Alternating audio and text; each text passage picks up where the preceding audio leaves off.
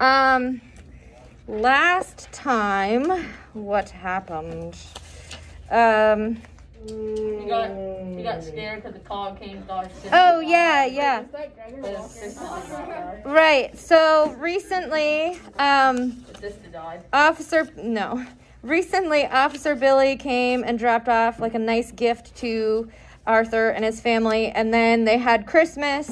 Um, and Barbara got like a bunch of dolls, um, and Arthur got a baseball, I want to say. Yep. Um, and he got his mom a flower pot that he found in the garbage, but like fixed up. and he got a whole bunch of coins that he didn't. Oh, yeah, and he got his dad's coins that he didn't really want.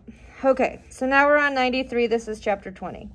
Just to get out of the house, Arthur took a walk to Mr. Hampton's garage on the Saturday after Christmas. It was one of those deceptively sunny but frigid end of December days. Arthur's breath made clouds. The snow covered sidewalks crunched like icebergs under his feet. There's a simile. He passed by an older guy who was walking a dog wearing a ridiculous sweater.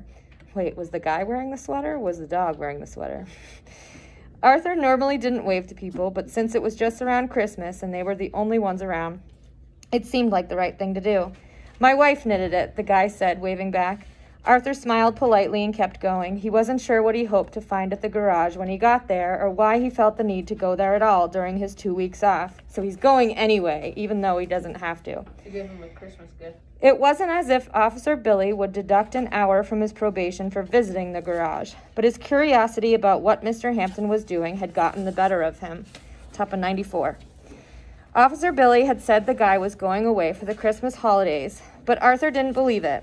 A trash picker didn't seem like the kind of person who would take vacations or have a regular family somewhere. It seemed more likely he wanted to work at the garage without being bothered. Arthur figured if he stopped by unexpectedly, he might get a glimpse of what the guy was up to. The purpose of the seven most important things still bugged him. He wanted to see what else he could find out. Of course, the walk turned out to be a complete waste of time. The, gar- uh, the garage was locked up and looked as deserted as always. The grocery cart sat in its usual place outside the garage door, with its wheels buried in clumps of snow and ice. Maybe Officer Billy had been right. It didn't seem like anybody had been around the place in days. Groovy Jim's shop was dark and closed up too. There was a folding iron gate across the doorway, which made the place look a lot more unfriendly than it usually did. A handwritten sign behind the gate said, Back next year. It took Arthur a minute to figure out the sign meant he'd be back in a few days when the new year arrived, not in 365 days. Since there was nobody around and nothing to see, he shoved his hands in his pockets and walked home, feeling like an idiot, a cold idiot. When Arthur returned home, he found Barbara sitting in the middle of the living room floor, floor, munching on a sugar cookie. She was wearing her pink plaid coat and mittens. Crumbs were everywhere. What are you doing? he said. Where's Mom? She went next door to borrow something. Bless you. I was playing outside, then I got hungry, so I came in. Barbara chewed on her crumbly cookie. Oh, and I talked to your friend, too. Arthur stopped, pulling off his boots. He stood in the hallway with one boot on and one off. What friend? he said, because he didn't have any friends, not since his dad's accident or being in juvie. Even before that, he hadn't had a lot of friends. He wasn't the kind of person who liked to hang out in big groups. His best friend, Ben Branson, who lived a few doors down the street, had moved away at the end of fifth grade. They used to play kickball together and trade baseball cards. He still had a couple of his Roger Maris cards. Was Ben back here? he said, glancing out the window. Despite being good friends, they'd never bothered to write much after he left. So, this is in the 60s, remember? So, writing letters was like huge back then. No, your friend with the shopping cart, you know, Barbara said impatiently, glaring at her brother as if he were a dope. The old man you threw the thing at, but now you're friends with again. That's who. Arthur stared at his sister. What in the world was she talking about? The junk man, Mr. Hampton, was here, he said slowly. Barbara nodded and took another bite of her cookie. Well, he didn't have that old cart with him, but I knew it was him when I saw him across the street, so I waved and said, Hi, mister. And he came over and shook my hand and told me Merry Christmas. Barbara stuck out her hand to demonstrate. So I said, Merry Christmas, too, and I told him how you were my brother and how you weren't bad anymore now. She smiled proudly, and I said how you had promised not to throw anything else again. Wasn't that nice of me? She added. Arthur couldn't believe what he was hearing. It seemed like way too bizarre of a coincidence that he'd been trying to find out more about the junk man, and maybe, at the same time, the junk man had been trying to find out more about him. Oh, and I also asked him asked him if he if his kids got lots of stuff from Santa for Christmas. And he said he doesn't have any kids. Isn't that sad? Barbara gave an exaggerated frown. But he said it was okay. He likes being by himself. Arthur shook his head. How could his little sister have found out more about the junk man in five minutes of blabbering than he had? What else did he tell you? Arthur pulled off his other, other boot. He pretended not to seem too interested in the conversation so his sister wouldn't clam up. Well, he told me he doesn't live in our neighborhood. He lives in three little rooms in a building farther away. And I asked him why he always pushes a shopping cart around, and he said it isn't a shopping cart, it's a chariot. But you just can't see the horses. Any idea what a chariot is? Yeah. What is it? Yeah, it's like a cart that gets pulled by horses. It's like from like medieval times. Um, where am I? Isn't that funny? Barbara laughed. A chariot, but you can't just see the horses. You just can't see the horses. And the best part of all, she stood up and reached into her coat pocket. He gave me a pretty silver bead to keep. She held out her hand, and there, in her sis- his sister's pink mitten, was the missing silver temperature knob from the toaster. So when he got that toaster for him, he noticed, like right after, that the knob was missing, and then he gave it to Barbara. All right, so now we're on 98. We've got some more time, so we're gonna do chapter 21 because it's like one page long. All right. Arthur had no idea what the silver toaster knob was supposed to mean or why Mr. Hampton had given it to his little sister. He thought he might get some answers when he went back for his first Saturday of probation in January, but nothing had changed. He arrived at Mr. Hampton's garage on January 4th and found the same list in the same cart. Nobody around, no other notes. Arthur figured maybe it had just been a coincidence. Maybe the guy happened to be taking a stroll past their house and had the toaster knob in his pocket, so he decided to give it to Barbara. But then something happened at school that made Arthur begin to wonder even more about the connections between his work for Mr. Hampton and his life. It all started when Arthur forgot his earth science textbook in his locker. It was a couple of days after they got back to school from the Christmas holiday. They were having an open book quiz. He needed the book. Normally, he tried to avoid going to his locker to get anything during lunch when the ninth grade varsity football players liked to hang around in the gym hallway and goof off. A lot of them were the size of Slash from Juvie or bigger.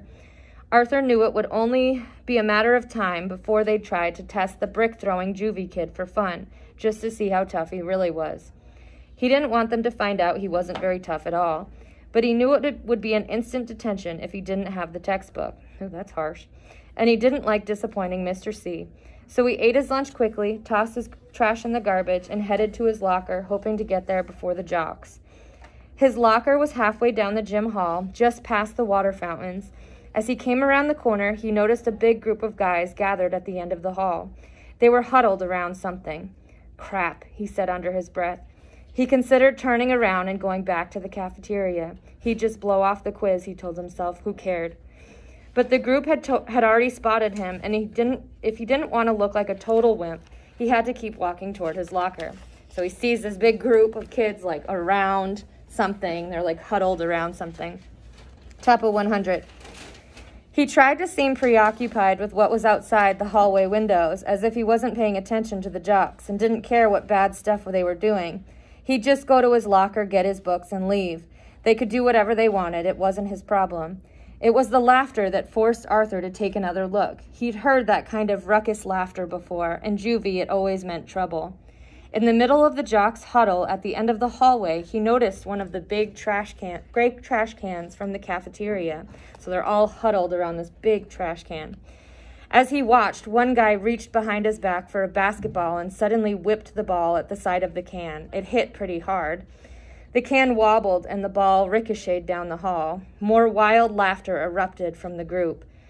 Arthur couldn't figure out why a cafeteria garbage can would be sitting in the hallway or why the jocks would be gathered around it laughing and whipping basketballs at it until he saw the top of someone's head appear. So there's someone in this garbage can that they are messing with. All right, we're going to start 22. Arthur couldn't remember exactly what he'd yelled at the group. He thought it was something like, Stop it, what are you doing? But, and maybe with a couple of swear words added in. It was called a fight, but it, it really wasn't.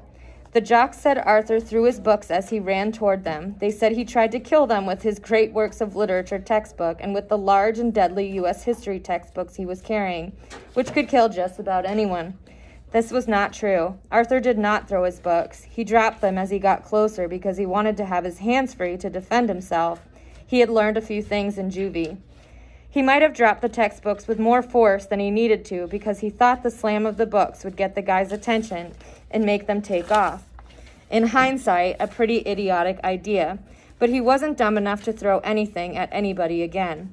Arthur ran towards the guys with only one thought in, mi- in mind, really saving whoever was in the garbage can, or at least getting the person out.